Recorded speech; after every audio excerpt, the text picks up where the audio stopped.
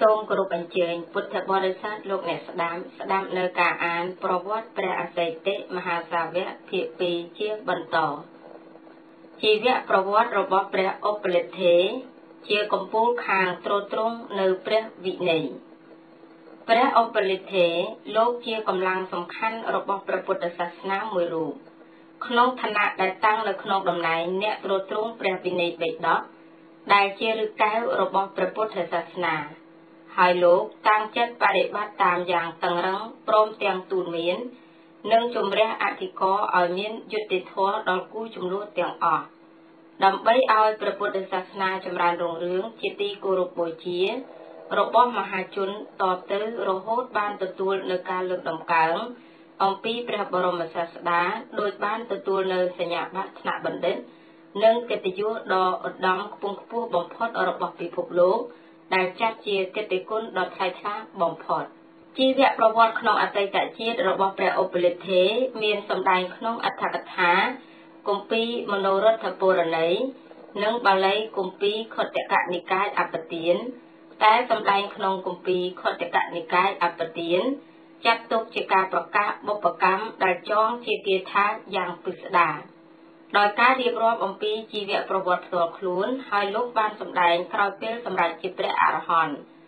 តែជីវប្រវត្តិរបស់លោកមានរឿងជាប់ទាក់ទងក្នុងអតីតជាតិរបស់ព្រះពណៈមន្តានៃពុទ្ធទេផងដែលមានសេចក្តីដូចតទៅនេះក្នុងអតីតជាតិមួយលោកបានកើតជាព្រាមឈ្មោះថាសុជាតិជាអ្នកមានទ្រព្យសម្បត្តិ80កោដនៅក្នុងក្រុងហង្សវតី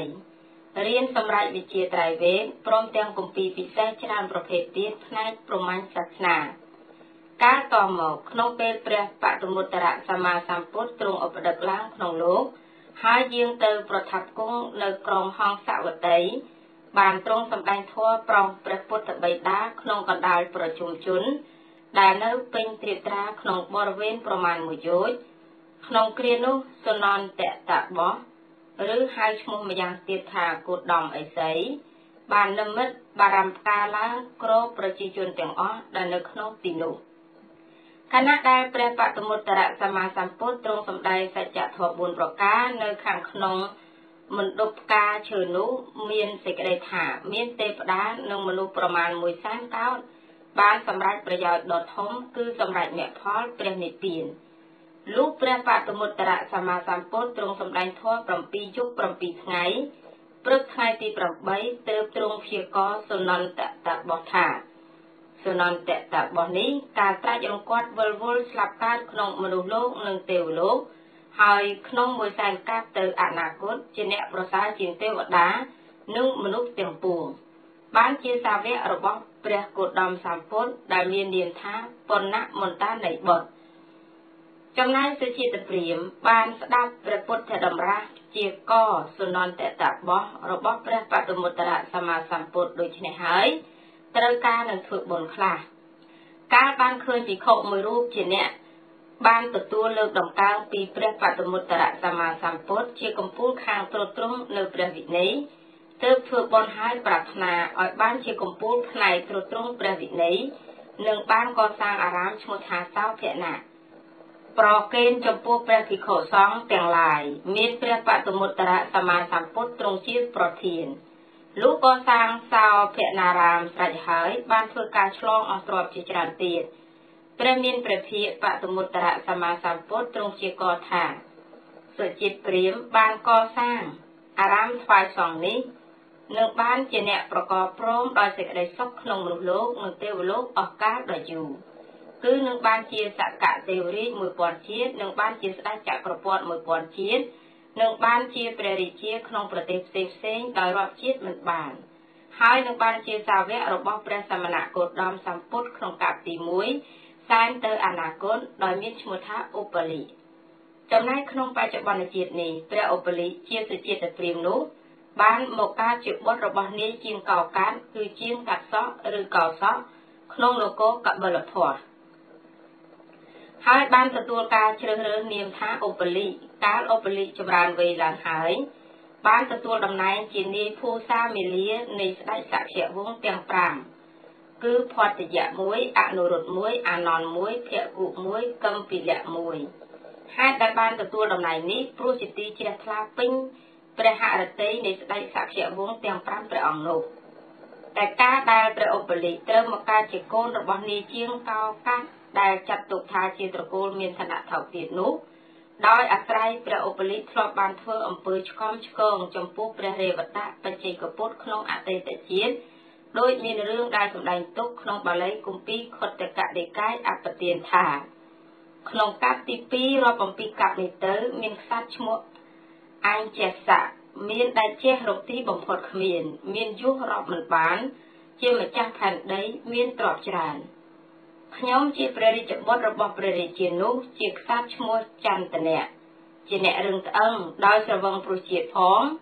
ដោយស្រវឹងព្រោះយុស័កនិងភោគៈផង មានពួកដំរីមានតាំងកៈចំនួន1សែនសុទ្ធតែចុះប្រេងដែលហេតុ3ប្រការ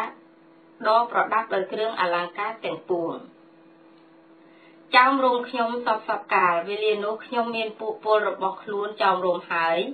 ប្រាថ្នាទៅកាន់ឧស្សាហឡើងជីដំរីឈ្មោះសិរិកៈចេញអំពីនគរទៅស្រាប់តែមានព្រះបច្ចេកពុទ្ធព្រះនាមរេវតៈទ្រង់បរិបូរដោយចរណៈមានទ្វាគ្រប់គ្រងទង្រួមល្អបាននិមន្តមកចំពោះមុខខ្ញុំវេលានោះខ្ញុំបានបរដំរីឈ្មោះសិរិកៈទៅឲ្យបៀតបៀនព្រះបច្ចេកពុទ្ធលំដាប់នោះដំរីក៏ក្រោតខឹងមិនលើកជើងលុះខ្ញុំឃើញដំរីមានចិត្តខឹងក៏ក្រេវក្រោតនឹងព្រះបច្ចេកពុទ្ធជាម្ចាស់ បៀតបៀនព្រះបច្ចេកពុទ្ធហើយក៏ទៅក្នុងឧទ្យានខ្ញុំមិនបាននៅសេចក្តីសុខស្រួលក្នុងឧទ្យាននោះក្បាលរបស់ខ្ញុំហាក់ដូចជាភ្លើងឆេះខ្ញុំអន្តះអន្តែងដល់សេចក្តីក្រហល់ក្រហាយដោយត្រីជាប់សន្ទូចផែនដីដែលមានសាគរជាទីបំផុតហាក់ដូចជាដុតកម្ដៅខ្ញុំទើបខ្ញុំចូលទៅកាន់សំណាក់នៃព្រះបិតាហើយក្រាបបង្គំទូលថាយើងខ្ញុំបៀតបៀនព្រះបច្ចេកពុទ្ធដោយបុគ្គលបៀតបៀនអសិរពឹស ឬដោយបុគ្គលបៀតបៀនគំនោភ្លើងឬក៏ដោយបុគ្គលបៀតបៀនដំរីមានភ្លុកដែលចុះប្រេងព្រះបច្ចេកពុទ្ធជាម្ចាស់អង្គនោះមានតបៈដ៏ខ្ពង់ខ្ពស់ឃ្លាវខ្លា ជាព្រះចិនស្រី យើងខ្ញុំបៀតបៀនហើយយើងខ្ញុំទាំងអស់គ្នានឹងវិនាសយើងខ្ញុំនឹងញ៉ាំងព្រះសយំភូជាមនីអង្គនោះឲ្យអត់ទោឲ្យប្រសិនបើយើងខ្ញុំមិនបានញ៉ាំងព្រះបច្ចេកពុទ្ធដែលមានខ្លួនទូនមានហើយមានព្រះហឫទ័យខ្ជាប់ខ្ជួននោះ ឲ្យអត់ទោឲ្យទេដែនរបស់យើងខ្ញុំមុខជាវិនាសក្នុងថ្ងៃទី7មិនខានខ្សាច់4ព្រះអង្គព្រះនាមសុមេខលៈ1កោសយៈ1សិកវៈ1សតកៈ1ជាមួយនឹងពួកសេនាបានបៀតបៀនអេសីទាំងឡាយហើយដល់នៅសេចក្តីវិនាសខ្ញុំបានប្រជុំពួកបរោះក្នុងទី3000យោជបានចូលទៅគាល់ព្រះសយាមភូដើម្បីនឹងសម្ដែងទោស ពួកបរោះទាំងពួងស្លៀកសម្ពុតទៅទឹកមានក្បាលទៅទឹកធ្វើក្រពុំរៀមដៃក្រាបទីព្រះបច្ចេកពុទ្ធហើយទូលថាបបិទ្ធព្រះអង្គមានជាយាមធំសូមព្រះអង្គអត់ទោសព្រោះជនសូមទោសព្រះអង្គសូមព្រះអង្គរងាប់ក្រវល់ក្រវាយសូមព្រះអង្គកុំធ្វើដែនរបស់យើងខ្ញុំឲ្យវិនិច្ឆ័យឡើយពួកបរោះទាំងអស់ព្រមទាំងទេវតានិងមនុស្ស ទាំងអ្នកធ្វើទានទាំងអ្នកព្យាយាម គេនឹងយកញញួរដែកមកទម្លាយអំបែងក្បាលជើងខ្ញុំសពសពកាលប្រសិនបើព្រះអង្គមិនអនុគ្រោះទេព្រះបច្ចេកពុទ្ធត្រាស់ថាភ្លើងមិនស្ថិតនៅក្នុងទឹកពូជមិនដុះលើថ្មភ្នំដង្កូវមិនស្ថិតនៅក្នុងអសុនសេចក្តីក្រោធមិនមានកើតក្នុងព្រះបច្ចេកពុទ្ធទេផែនដីមិនកំរើកសមុទ្រសាគរប្រមាណមិនបាន អាកាសរកទីបំផុតគ្មានយ៉ាងណាមិញព្រះបច្ចេកពុទ្ធទាំងឡាយមានព្រះハរតីមិនរំជួយញាប់ញ័រក៏យ៉ាងនោះដែរព្រះបច្ចេកពុទ្ធទាំងឡាយមានព្យាយាមធំ មានខ្លួនទុនមានអត់ធន់មានតបៈពួកបុគ្គលអ្នកអំណត់អត់ធន់មិនមានលុះក្នុងអកតិព្រះបច្ចេកពុទ្ធទ្រង់ត្រាស់ដូច្នេះហើយទើបរងាប់ប្រវល់ក្រវាយរបស់ខ្ញុំហើយហោះទៅតាមអាកាសក្នុងទីចំពោះមុខមហាជនក្នុងកាលនោះ ការដែលព្រះឧបលិទ្ធេមានសេចក្តីជ្រះថ្លាក្នុងព្រះពុទ្ធសាសនា រហូតដល់ការចូលមកបព្វជិឧបសម្បទាប្រព្រឹត្តវត្តព្រមចរិយៈក្នុងព្រះធម៌វិន័យមានសម្ដែងទុកក្នុងគម្ពីរចលវៈវិន័យវេដកក្នុងសង្ឃភេទខន្តកៈនិងនៅក្នុងអត្ថកថាគម្ពីរធម្មបទនៃយមកៈរឿងទេវទត្តមានសេចក្តីថាការចេញបួសរបស់ព្រះឧបលិទ្ធិមានការតេតងនឹងសត្វសក្យៈទាំង5ព្រះអង្គ គឺ1ផតយៈ2អនុរុទ្ធ3អនន្ត4ភគុ5គំពិលៈនិង6នៅក្នុងកោលយៈវងគឺទេវទត្តក្សត្រទាំងអស់នេះមានបំណងនឹងបួសក្នុងព្រះពុទ្ធសាសនា ហើយបានបបួលឧបលិជាងកោកាត់ឲ្យជាប់តាមទៅដែរទៅរួមជា7នាក់ក្សត្រទាំង6ព្រះអង្គជាងចេញចាកព្រះនគរព្រមដោយចតុរង្គសេនា គឺមានពលសេះពលដំរីពលរន់ពលថ្មើរជើងដូចជាយាងទៅប្រពៀតព្រះរាជឧស្សាហដូច្នោះលុះយាងទៅដល់ព្រំប្រទល់របស់ក្សត្រដទៃហើយក៏ត្រាស់បញ្ជាឲ្យក្បួនចតុរង្គសេនាត្រឡប់វិញដើម្បីកុំឲ្យមានការយល់ខុសដល់ក្សត្រក្នុងដែននោះនោះហើយនាំគ្នាយាងចូលទៅកាន់រាជធានីរបស់ក្សត្រដទៃដោយមិនឲ្យមានអ្នកណាមកការពាររក្សាមុននឹងយាងចូលអាណាចក្ររបស់ក្សត្រដទៃក្សត្រទាំង6ព្រះអង្គទ្រង់ដោះគ្រឿងអភរណៈចេញសិនហើយនាំគ្នាត្រឡប់គ្រឿងអលង្ការទាំងអស់ឲ្យដល់ឧបលិជាងកោកាន់ដោយត្រាស់ថាមនាលឧបលិអ្នកចូលនាំយកគ្រឿងអភរណៈទាំងនេះត្រឡប់ទៅព្រះនគរវិញចុះរបស់ទាំងអស់នេះមានតម្លៃច្រើនល្មមចិញ្ចឹមជីវិតរបស់អ្នកបានអស់មួយជីវិតឧបលិជាងកោកានក្រាបចុះទៀតបាតមូលនៃខ្សត្រទាំង6ព្រះអង្គនោះ ហើយបានស្រែកយំដោយសេចក្តីអាល័យមិនបំណងនឹងទទួលឡើយតែចាំបាច់ត្រូវតែទទួលព្រោះមិនអាចរឿងទៅទឹងចំពោះព្រះរាជបញ្ជាបានទើបទទួលយកកញ្ចប់គ្រឿងអភរណៈនោះមកក្រាបថ្វាយបង្គំលាធ្វើដំណើរត្រឡប់មកតែម្នាក់ឯងខណៈដែលដើរមកតាមផ្លូវក៏គិតខ្លាចការយល់ខុសរបស់ពួកសក្យៈប្រញាតថាក្សត្រសក្យរាជទាំងអស់ឃើញយើងយកគ្រឿងអលង្ការទៅ នឹងគិតថាយើងសម្រាប់ពួករាជកុមារហើយដណ្ដើមយកអលង្ការទាំងនោះអាចនឹងដាក់ព្រះរាជអាជ្ញាដល់យើងដោយធ្ងន់ធ្ងរគឺប្រហារជីវិតយើងយ៉ាងពិតប្រាកដទើបនឹកគិតថាហេតុអ្វីណោក្សត្រទាំងអស់នេះលះសម្បត្តិដ៏ឱឡានិងគ្រឿងអភរណៈដ៏មានតម្លៃទាំងនេះបាន ដោយមិនមានអាល័យហួងហែងដូចជាស្ដោះទឹកមាត់ចោលហើយចេញបួសនៅក្នុងព្រះសាសនាបាន តែយើងមិនមានសម្បត្តិត្រឹមតែបន្តិចសោះឡើយហេតុអ្វីក៏លះបង់មិនបានឧបលិជាងកោកានការគិតដូច្នេះហើយក៏ស្រែកបញ្ចប់គ្រឿងអលង្ការចេញនាំយកគ្រឿងអលង្ការទាំងនោះព្យួរទុកលើមែកឈើហើយពោលប្រកាសថាអ្នកណាប្រាថ្នាជួលយកទៅប្រើប្រាស់ជាប្រយោជន៍ចុះហើយប្រញាប់ជាប់តាមខ្សត្រទាំងនោះទៅលុះពួកខ្សត្រទាំងនោះឃើញឧបលិជាងកោកាត្រឡប់មកក៏ត្រាស់ថាអ្នកត្រឡប់មកធ្វើអ្វីឧបលិ ឧបលិជាងកោកាតទូលប្រាប់នៅបំណងរបស់ខ្លួនឲ្យទ្រង់ជ្រាបហើយក៏បានទទួលការយល់ព្រមអំពីខ្សត្រទាំងនោះទីបំផុតអ្នកទាំង7បាននាំគ្នាធ្វើដំណើរទៅកាន់មូលរដ្ឋជនបទចូលគាល់ព្រះមានព្រះភិយដែលគង់នៅក្នុងអនុបយៈអភិវ័នថ្វាយបង្គំហើយក្រាបទូលសូមបព្វជិឧបសម្បទាក្នុងធម៌វិន័យតែមុនពេលដែលព្រះមានព្រះភិយប្រកាសការបួសដល់បណ្ដាក្សត្រទាំងនោះក្សត្រទាំងនោះបានក្រាបទូលថាបបិទ្ធព្រះមានព្រះភិយពួកខ្ញុំព្រះអង្គជាក្សត្រច្រើនដោយខត្តយៈមានះដ៏ខ្លាំងក្លាឧបលិជាងកោកាត់នេះជាអាមាតអ្នកបម្រើជាប់តាមខ្ញុំព្រះអង្គមកជាយូរសូមព្រះអង្គប្រទានបព្វជិដល់ឧបលិជាងកោកាត់មុនហើយសូមឲ្យខ្ញុំព្រះអង្គទាំងឡាយបានបួសក្នុងការជាខាងក្រោយដោយបំណងថាឧបលិជាងកោកាត់នឹងជារៀមច្បង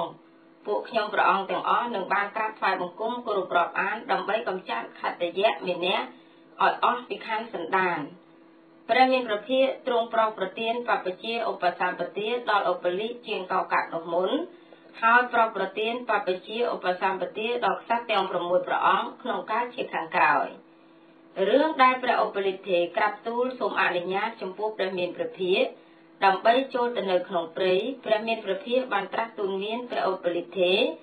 មានសម្ដែងក្នុងព្រះបាលីឧបលិសូតគម្ពីរអង្គតរនិកាយទេសកនិបាតថាគ្រានោះឧបលិទ្ធេចូលទៅថ្វាយបង្គំគាល់ដល់ទីប្រថាប់ហើយបានក្រាបទូលថាបបិទ្ធព្រះមានព្រះភិយខ្ញុំព្រះអង្គបំណងនឹងទៅនៅក្នុងសេនាសនៈដែលស្ងប់ស្ងាត់ក្នុងព្រៃធំព្រះមានព្រះភិយត្រាស់ថាមនាលឧបលិ សេនាសនៈដែលស្ងាត់ក្នុងព្រៃធំជាកន្លែងនៅបានដោយលំបាកធ្វើសេចក្តីស្ងប់ស្ងាត់បានដោយកម្រការនៅម្នាក់ឯងជាការត្រេកអរបានដោយកម្រព្រៃទាំងឡាយហាក់ដូចជានាំយកចិត្តរបស់ភិក្ខុអ្នកមិនមានសមាធិទៅភិក្ខុឧបលិណាពោលថាយើងជាអ្នកមិនបានសមាធិនឹងនៅក្នុងទីសនាសនៈដែលស្ងាត់ក្នុងព្រៃធំភិក្ខុនោះនឹងត្រូវលេចចុះឬនឹងរវើរវាយ ប្រៀបដូចជាអន្លង់ទឹកធំមានដំរីកម្ពស់7ហាត់ឬ7ហាត់កន្លះបានដើរមកដល់អន្លង់ទឹកធំនោះដំរីនោះគិតថាយើងនឹងចុះទៅកាន់អន្លង់ទឹកនេះហើយក៏បីដុះត្រចៀកនឹងខ្នងខ្លះ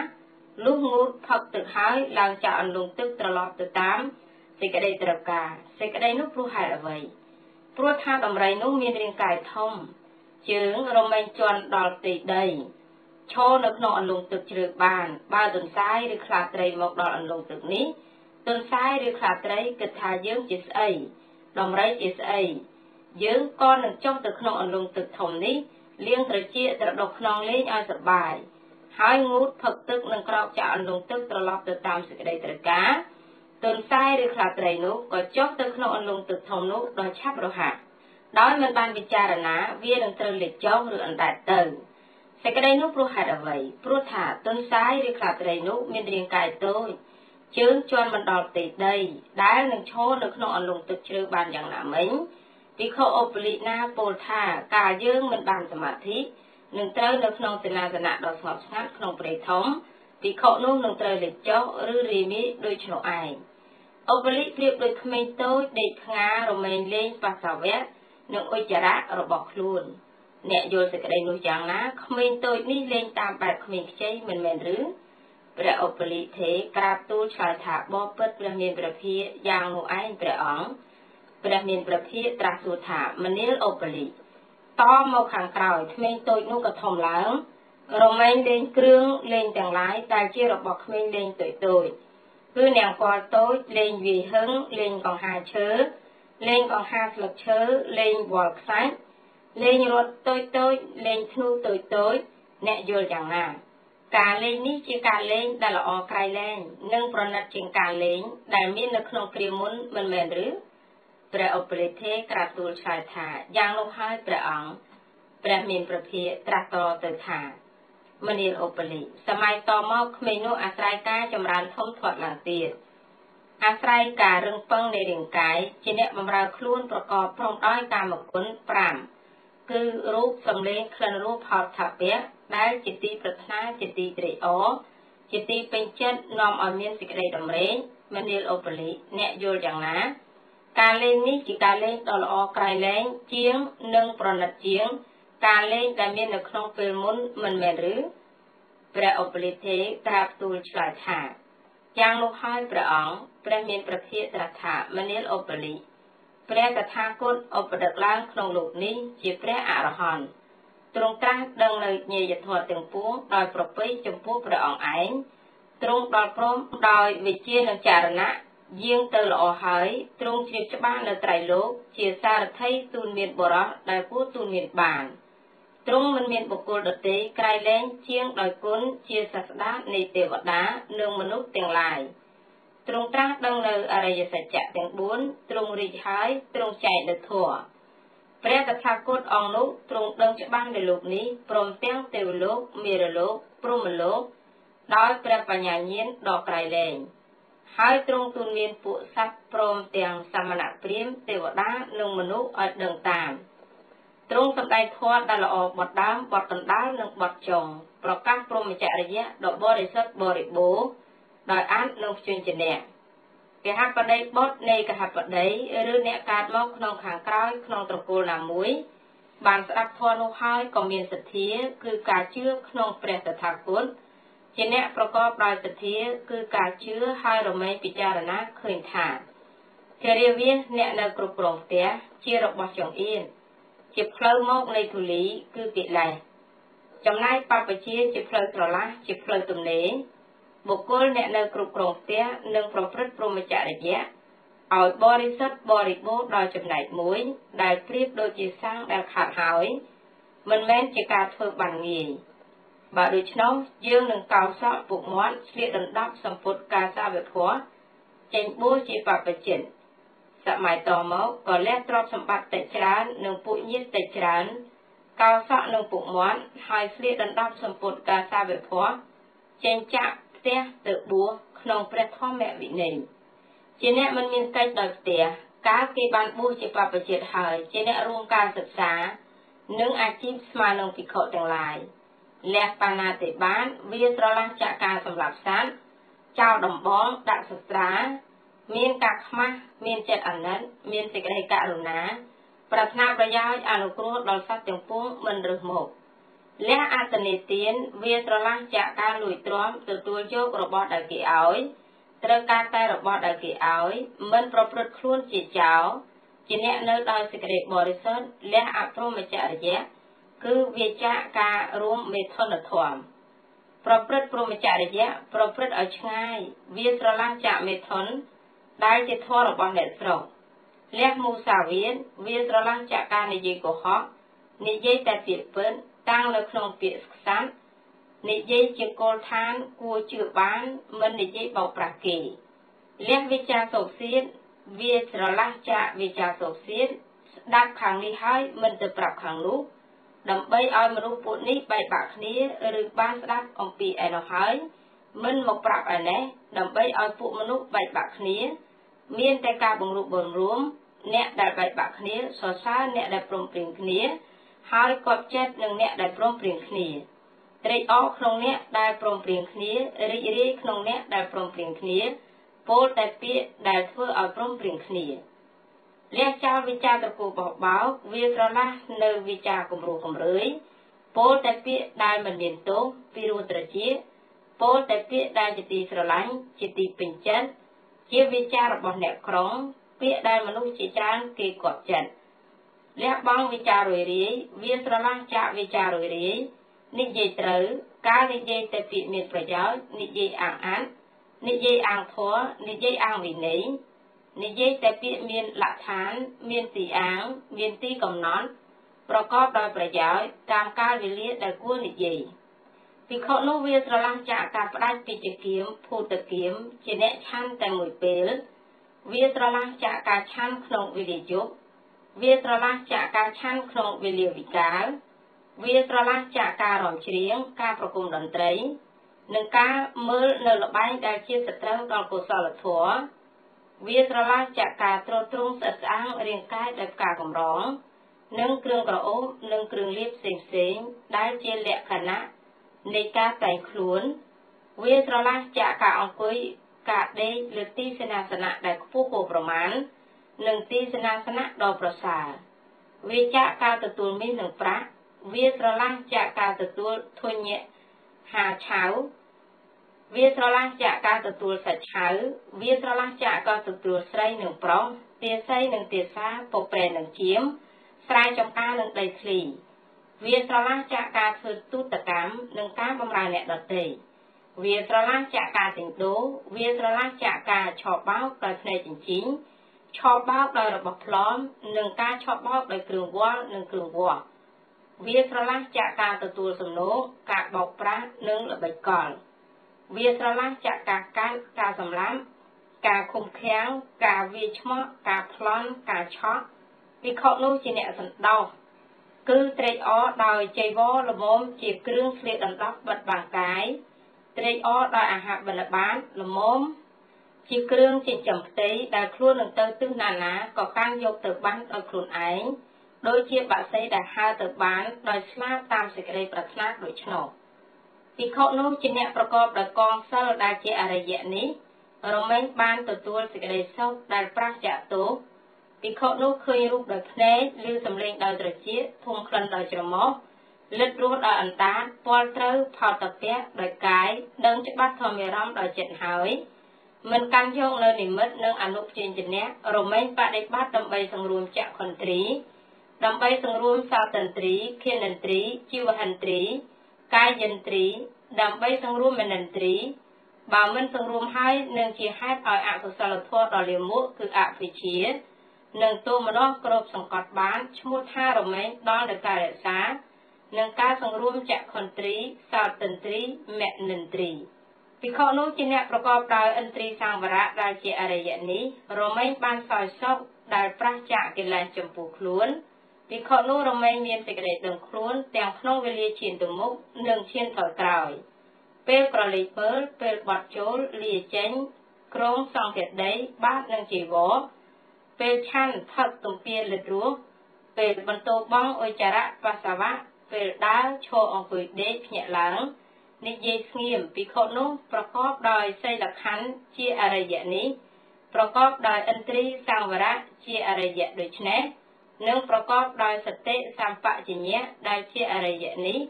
រមែងនៅក្នុងសេនាសនៈដែលស្ងាត់គឺព្រៃគល់ឈើភ្នំញោកភ្នំលាងភ្នំព្រៃស្មោសានព្រៃស្ដុកទីវាលពំនូកចម្បាំងភិក្ខុនោះនៅព្រៃគល់ឈើឬផ្ទះស្ងាត់ រមែងអង្គុយពុតភ្នែនតាំងកាយឲ្យត្រង់តម្រង់ស្មារតីឆ្ពោះមុខទៅរកកម្មដ្ឋានភិក្ខុនោះលះសេចក្តីលោភក្នុងលោកហើយនៅដោយចិត្តដែលប្រះចាកលោភៈរមែងជំរះចិត្តឲ្យបរិសុទ្ធចាកលោភៈលះសេចក្តីទោមនស្សគឺព្យាបាលមិនប្រទុសរាយមានចិត្តករណាប្រាថ្នាប្រយោជន៍ដល់សត្វទាំងពួងជំរះចិត្តឲ្យបរិសុទ្ធចាកសេចក្តីប្រទុសរាយ គឺព្យាបាលលះថៃនិមិត្តៈហើយជាអ្នកប្រះចាកថៃនិមិត្តៈដាក់ចិត្តកំណត់យកនៅពលឺភ្លឺស្វាងមានសតិសម្បជញ្ញៈជំរះចិត្តឲ្យបរិសុទ្ធចថៃនិមិត្តៈលះឧត្តចៈកុកចៈជាអ្នកមិនរីមាយមានចិត្តស្ងប់ក្នុងខាងក្នុងជំរះចិត្តឲ្យបរិសុទ្ធចៈឧត្តចៈកុកចៈជាអ្នកឆ្លងផុតវិជកិច្ឆាមិនមានសេចក្តីសង្ស័យក្នុងកុសលធម៌ទាំងឡាយ ជំរះចិត្តឲ្យបរិសុទ្ធចៈវិជកិច្ឆាភិក្ខុនោះលុះលះនិវរណៈដែលជាគ្រឿងសាមងចិត្តធ្វើឲ្យទុនខ្សោយដល់កម្លាំងបញ្ញា5ប្រការនេះបានហើយស្ងាត់ចាកកម្មនិងស្ងាត់ចាកអកុសលធម៌សម្រាប់បឋមឈាន មានវិតកៈវិចារៈបៃតិសុខៈនិងឯកតតាមនាលឧបលិអ្នកយល់សេចក្តីនោះយ៉ាងណា ការនៅដូច្នេះជាការនៅដែលល្អក្រៃលែងជាង និងប្រណិតជាងការនៅដែលមានក្នុងកាលមុនមែនឬព្រះឧបលិទ្ធេក្រាបទូលឆ្លើយថាយ៉ាងនោះហើយព្រះអង្គព្រះមានប្រភាត្រាស់តទៅទៀតថាមនាលឧបលិសាវកទាំងឡាយរបស់តថាគតពិចារណាឃើញធម៌នេះមាននៅក្នុងខ្លួនទៅនៅក្នុងសេនាសនៈដែលស្ងាត់ក្នុងព្រៃធំតែថាសាវកទាំងនោះនៅមិនទាន់ដល់ប្រយោជន៍របស់ខ្លួនដល់លំដាប់នៅឡើយ មនាលឧបលិប្រការមួយទៀតភិក្ខុសម្រាប់ទុតិយឈានខាងក្នុងចិត្តមានភាពផូរផង់ជាធម៌ដ៏ឯកផុសឡើងមិនមានវិតកវិចារៈព្រោះវិតកវិចារៈស្ងប់ទៅ មានបិតិនិងសុខៈដែលកើតអំពីសមាធិមនាលឧបលិអ្នកយល់សេចក្តីនោះយ៉ាងណាការនៅដូច្នោះជាការនៅដែលល្អក្រៃលែងជាងនិងប្រណិតជាង ការនៅដែលមានក្នុងកាលមុនមែនឬ ព្រះឧបលិទេក្រាបទូលឆ្លើយថាយ៉ាងនោះហើយព្រះអង្គមនាលឧបលិប្រការមួយទៀតភិក្ខុមានឧបេខា មានសតិសម្បជញ្ញៈសោយសុខដោយនាមកាយព្រោះបៃតេអត់ទៅសម្រាប់តតិយឈាន ដែលព្រះអរិយៈទាំងឡាយសរសើរថា អ្នកណាបានឈាននេះ ជាអ្នកមានឧបេខា មានស្មារតីនៅជាសុខមនាលឧបលិអ្នកយល់សេចក្តីនោះយ៉ាងណា ការនៅដូចនេះជាការនៅដែលល្អក្រៃលែងជាងនិងប្រណិតជាងការនៅដែលមានក្នុងពេលមុនមែនឬព្រះឧបលិទេក្រាបទូលថាយ៉ាងនោះហើយព្រះអង្គមនាលឧបលិម្យ៉ាងទៀតពិខុសម្រាប់ចតុតឈានមិនមានទុកមិនមានសុខព្រោះលះសុខៈលះទុកព្រោះរំលត់សោមនស្សនិងរំលត់ទោមនស្សបានហើយមានឧបេខាជាហេតុឲ្យសតិបរិសុទ្ធមនាលឧបលិអ្នកយល់សេចក្តីនោះយ៉ាងណា ការនៅដូច្នេះជាការនៅដែលល្អក្រៃលែងជាងនិងប្រណិតជាង ការនៅដែលមានក្នុងកាលមុនមែនឬព្រះឧបលិទ្ធេក្រាបទូលថាពិតមែនហើយព្រះអង្គមនាលឧបលិម្យ៉ាងទៀតព្រោះពិខុឈានកន្លងរូបសញ្ញាព្រោះរំលត់បរិខៈសញ្ញាចេញបានព្រោះមិនដាក់ចិត្តដល់នាណត្តសញ្ញាដោយប្រការទាំងពួងភិក្ខុសម្រាប់អាកាសានញ្ចាយតនឈានដោយគិតពិចារណាថា អាកាសមិនមានទីបំផុតឡាមនាលឧបលីម្យ៉ាងទៀតព្រោះវិខឈានកន្លងអាកាសានញ្ចាយតនឈាន ដោយប្រការទាំងពួងទើបវិខសម្រាប់វិញ្ញាណញ្ចាយតនឈាន ដោយគិតពិចារណាថាវិញ្ញាណមិនមានទីបំផុតព្រោះភិក្ខុឈានកន្លងវិញ្ញាណនញ្ចាយតនឈាន ដោយប្រការទាំងពួងទើបភិក្ខុសម្រេចដល់អកិញ្ចញ្ញាយតនឈាន ដោយគិតពិចារណាថាភាវៈតិចតួចមិនមានព្រោះភិក្ខុឈានកន្លងអកិញ្ចញ្ញាយតនឈានដោយប្រការទាំងពួងទើបភិក្ខុសម្រេចដល់នេវៈសញ្ញានីសញ្ញាយតនឈានដោយពិចារណាថាធម្មជាតិនេះស្ងប់ពិតប្រណិតពិតមនាលឧបលិអ្នកនឹងចូលដល់សេចក្តីនោះយ៉ាងណា ការនៅដូច្នេះជាការនៅដែលល្អក្រៃលែងជាងការនៅដែលមានក្នុងពេលមុនមែនឬ ព្រះឧបលិក្រាបទូលថាពិតមែនហើយព្រះអង្គព្រះមានព្រះភិក្ខត្រាស់តទៅទៀតថាមនាលឧបលិសាវកទាំងឡាយរបស់តថាគតពិចារណាឃើញធម៌នេះថាមាននៅក្នុងខ្លួនទៅនៅក្នុងទីសេនាសនៈស្ងប់ស្ងាត់ក្នុងព្រៃធំតែថាសាវកទាំងនោះនៅមិនទាន់ដល់ប្រយោជន៍របស់ខ្លួនដល់លំដាប់នៅឡើយមនាលអូបលីម្យ៉ាងទៀតវិខុឈានកន្លងនេវៈសញ្ញានាសញ្ញាយតនឈាន ដោយប្រការទាំងពួងទើបវិខុសម្រេចដល់សញ្ញាវេតយិតនិរោធសមបត្តិឯអសវៈកិលេសរបស់វិខុនោះអស់ទៅព្រោះឃើញដោយបញ្ញាដ៏ប្រពៃតាមពិតមនាលអូបលីអ្នកយល់សេចក្តីនោះយ៉ាងណា ការនៅដូច្នេះជាការនៅដែលល្អក្រៃលែងជាង និងប្រណិតជាងការដែលនៅក្នុងកាលមុនមែនឬព្រះឧបលិទ្ធេក្រាបទូលថាបបពិតព្រះអង្គដោយចម្រើនពិតដូច្នោះហើយព្រះអង្គ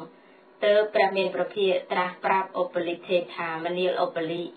សាវកទាំងឡាយរបស់តថាគតពិចារណាឃើញធម៌នេះថាមាននៅក្នុងខ្លួនទើបនៅក្នុងទីសេនាសនៈដែលស្ងប់ស្ងាត់តែថាសាវកទាំងនោះនៅមិនទាន់ដល់ប្រយោជន៍របស់ខ្លួនដោយលំដាប់នៅឡើយមនាលឧបលិអ្នកចូលនៅក្នុងពួកសង្ឃចុះការអ្នកនៅក្នុងសង្ឃនឹងមានការរស់នៅជាសុខ សូមគោរពអញ្ជើញពុទ្ធបរិស័ទលោកអ្នកស្ដាប់អនុមោទនី